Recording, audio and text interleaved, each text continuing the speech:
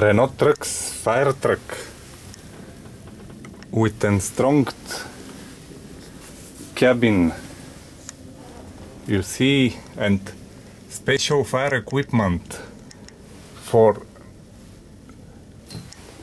destroying fires removing fires.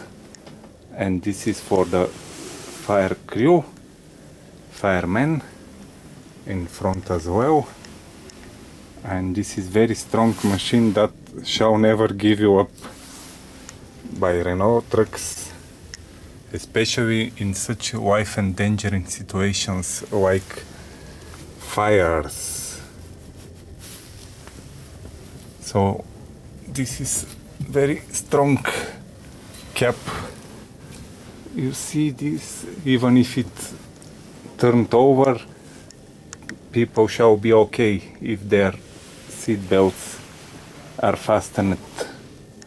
Seats on the rear fire extingu extinguisher. Side mirrors several of them. Control. And here more.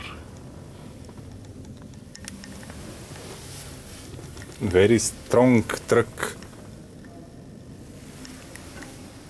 and more equipment. This whole truck is full with all kinds of equipment and this is not all. There is more equipment on the rear. Let's go see it